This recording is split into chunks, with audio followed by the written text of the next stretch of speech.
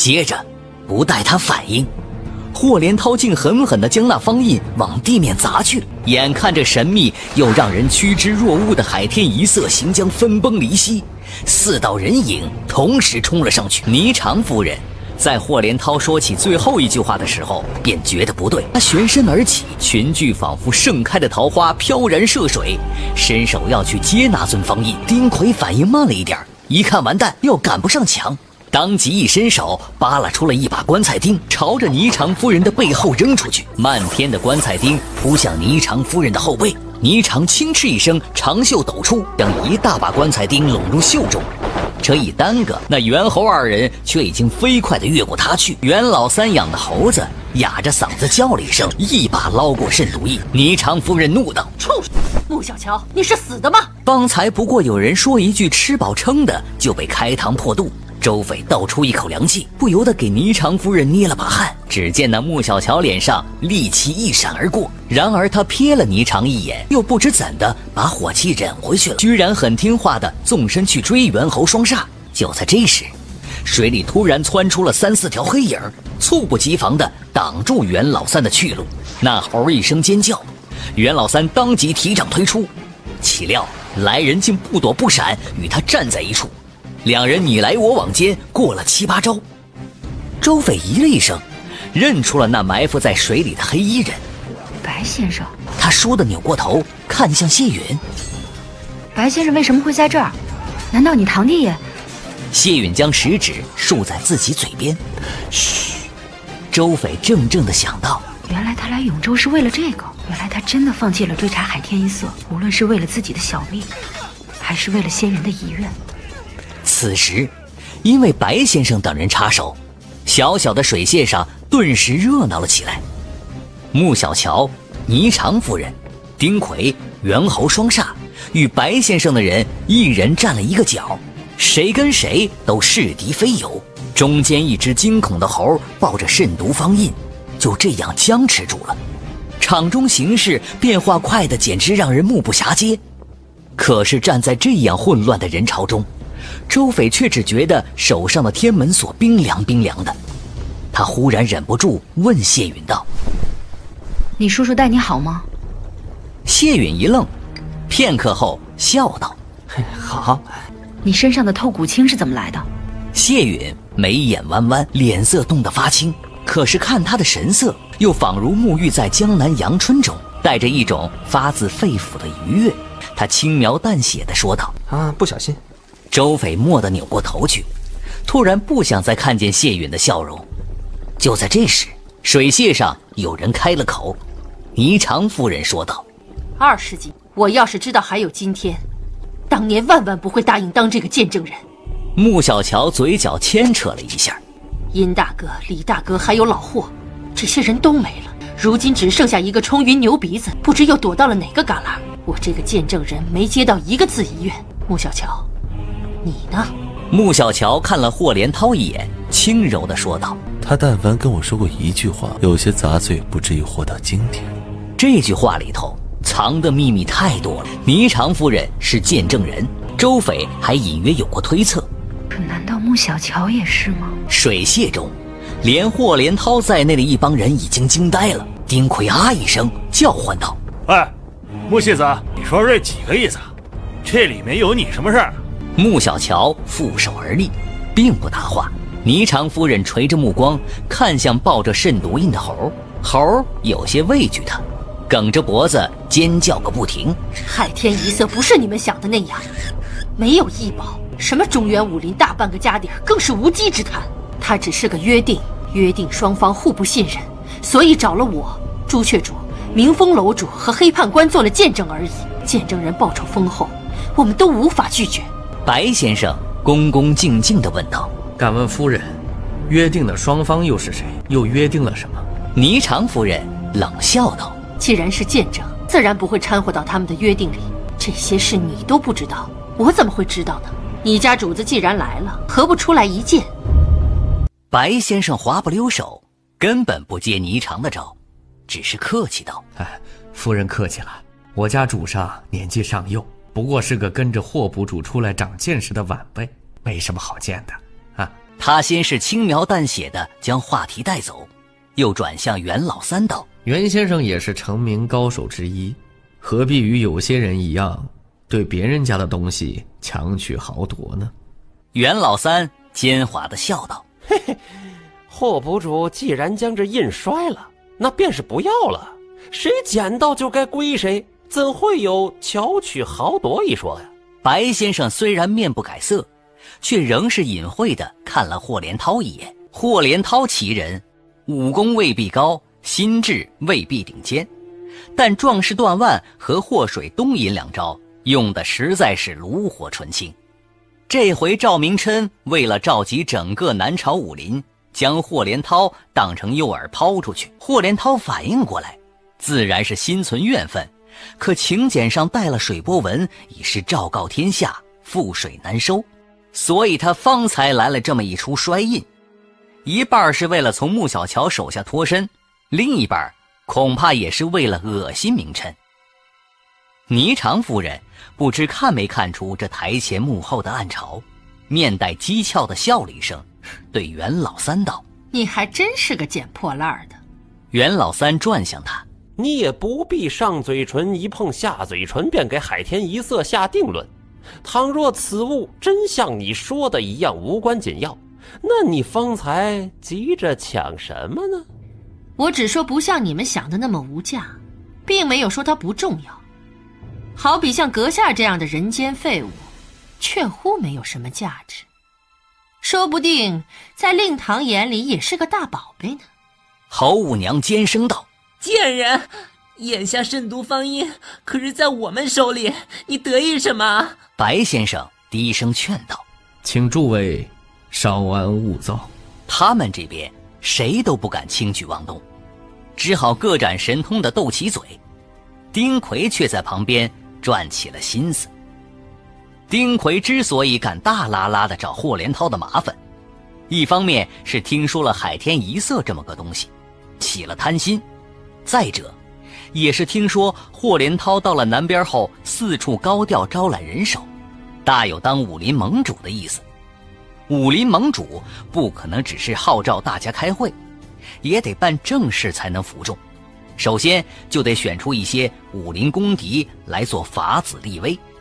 丁奎十分有自知之明，感觉武林公敌这一名号他是当仁不让，因此很想先下手为强。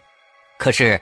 当时白狐主冯飞花给他传信，添油加醋的说自己拐弯抹角的得知霍连涛想对付活人死人山，又巧言令色的撺掇丁奎打头阵，到时候好与自己里应外合，搅了那霍家老儿的英雄会。可是如今丁奎依约来了，情理之外的穆小乔也来了，意料之中的冯飞花却依然不见踪影。这会儿，丁奎再一听白先生话里话外的意思，便咂摸出了点味儿来，心道：“姥姥的，中了霍连涛这孙子的计了。这孙子不但找好了靠山，还联合了冯飞花那个吃里扒外的东西，要挖个坑给老子跳，拿老子扬名立万。做你娘的春秋大梦，我可不白担罪名。”丁奎起了非得占点便宜走的贼心。能动手便不废话，他趁着袁老三同白先生等人唇枪舌战，猝不及防的骤然发难。五短身材如能缩地，闪电似的一步上前，水榭中立刻响起猴子的惨叫。只见丁奎堂堂玄武主，竟冲着一只猴子使了十成功力，眨眼间便将那猴脑打成一锅粥，而后他一把捞起慎毒印。哈哈大笑一声，转身便跑。哎，诸位继续分说啊，便宜我了。几大高手齐刷刷地挤在这小小的水榭中，原本是个谁都不敢轻举妄动的平衡，谁知尚未商讨出个所以然来，先有人不讲规矩，来了一场卷包会。白先生喝道：“拦住他！”他话音刚落，湖里骤然掀起一张大网，劈头网向丁奎。丁奎成名多年，哪是这等雕虫小技拦得住的？他顺势借力，擦着网边掠过，直落到了周匪他们这一边的岸上。毫不在意地冲向了人群。方才趁着人多众势，气势汹汹要诛杀邪魔歪道的一帮人，乍一见他杀过来，都懵了。前面的往后退，后面还有喊着报仇往前冲的，两拨人马撞在了一起，不等丁魁出手，便自己先乱作一团，当真是乌合之众。不过话说回来，倘若真有本领，除了穆小乔这种别有隐情的，谁会留下来供霍连涛驱使呢？丁魁好似利刃插入豆腐里，自人群中长驱直入，转眼已经到了兴南镖局这边。林波等人根本还没来得及近他的身，已经飞了出去。朱莹只好轻嗤一声，甩出峨眉刺，硬着头皮迎上。周斐作为管闲事的先锋，提刀便站了起来。谁知道这回谢允跟他心有灵犀了，两人都要站起来往前走。那天门锁的锁链一下绕着圆桌被拉住两个方向，咔一下卡在了桌腿上。他只好自己先撤一步，想迁就谢允，绕到他那边。不料谢允又跟他牵绕到了一处，两人同时一退，又撞在了一起。周斐快疯了，怒道：“你怎么这么会碍事？”李胜忍无可忍，撂下一句：“你俩就别跟着添乱了。”他话音没落，人已经纵身掠出，接连踩过一堆肩膀，堪堪拦在丁魁掌下。这一交手，方才察觉功夫用时方恨少。李胜只觉得短剑仿佛撞在了硬邦邦的山石上，险些给震得脱手飞出去，忙撤力旋身，用肩膀将祝莹撞到一边，冲他怒吼道：“还不走！”丁魁尖声笑道：“ 哪里走？”李胜狠狠一咬牙，正要硬着头皮再接玄武主一招，便听耳边一阵铁环相撞声，杨锦一招断雁叫西风陡然自旁边插了过来。眨眼间，已经挥出三刀，一刀快似一刀。丁魁被他快刀逼得连退几步，将慎毒印往袖口一塞，而后倏地弹出一根尺，哗啦一下打在了杨锦的刀背上。杨锦的刀锋不免偏了两分。丁魁一侧身，嘿，小子，你敢在我这逞强？说着，他伸手做爪，去抓杨锦的肩膀。方才退后的李胜立刻上前，手中双剑频频削出。正好将剑递到了丁魁手里，丁魁啧了一声，一把捏住他的剑，不防身后又有劲风袭来，杨锦长刀又至，丁魁一往无前的脚步被他们两个后生硬是绊了下来。李胜和杨锦这两人虽然头一次同时出手，却居然还算颇有默契，起码比那俩互相绊脚的强。丁魁发皱山芋似的脸上。阴鸷之气尽显，他忽然仰面吹出一声长哨，远处顿时有长哨声应和。随后，至少有百十来个戴着毒手套的玄武教众，从方才穆小乔强行破开的石林阵后面跑进来。同时，他们身后的湖水中响起扑通声，那大棺材分崩离析，成了一堆规整的木板。抬棺材的人纷纷踩着棺材板涉水而来。而与此同时，霓裳夫人与猿猴双煞一同追了过来。水泄中，穆小乔却又不知为什么同白先生与霍连涛等人动起了手。他以一敌众，竟还能丝毫不落败相，场面一时乱得无以复加。周斐抽出望春山，却不敢离开原位。嗨，李胜和杨锦都上前逞英雄去了，主和李岩身边不能没人。这是他们一路走过来自成的默契。譬如在客栈那次，周斐和李胜动了手，杨锦再好战，也只是踏踏实实的留在座位上。谢允却十分镇定，他想了想，伸手一按周斐的肩膀，说道：“哎，不急，这只是个开头，至少还有两拨人没出手，等着黄雀在后。你的刀先不要忙着出鞘。”周斐掰着手指头，已经数不清此时有几拨人掺和其中了。闻听此言，顿时一个人变成了三个大。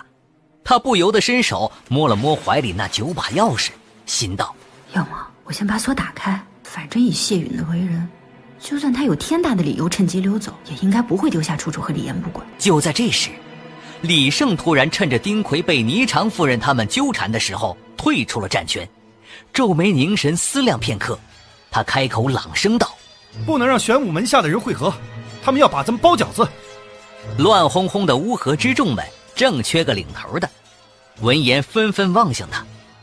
李胜在众目睽睽之下深吸一口气，冲云子教了他数月的阵法，在他心里盘旋而上。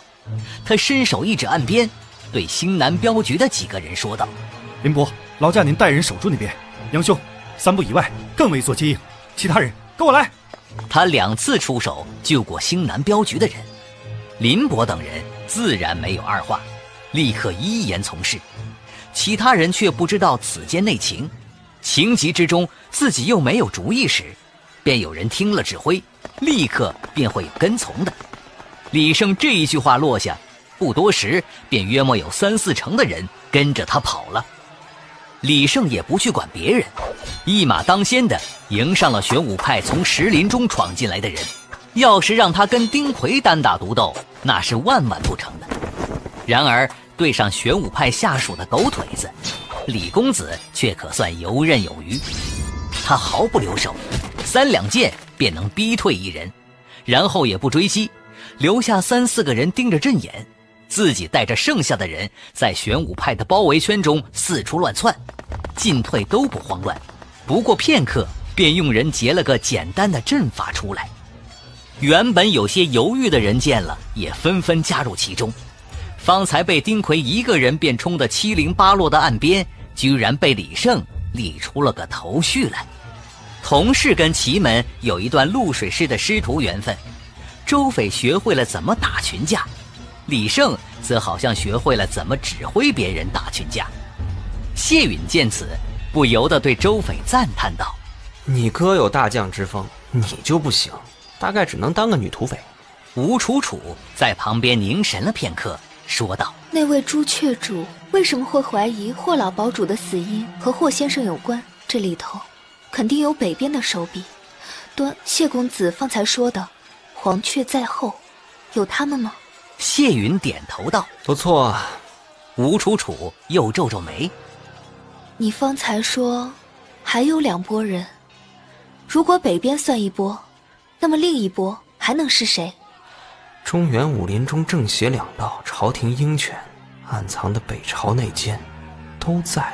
谢允没吭声，只是在一片混乱之中，遥遥地望向那小楼的方向，仿佛在与什么人对视一样。有李胜这么横插一杠，丁魁别提多难受了。他手下的人都被缠住了，只剩自己一根光杆面对昔日两大刺客头子。那个左支右绌与狼狈不堪就不用提了。情急之下，丁魁耍了个贱招，他突然吹了一声长哨。玄武卫，外面正在跟李胜等人缠斗的一个玄武门下的男子应声抬头。丁魁拼着大喝一声，强提真气，用后背接了侯五娘一掌，一口血喷出来，同时慎毒方印抛给了那玄武卫。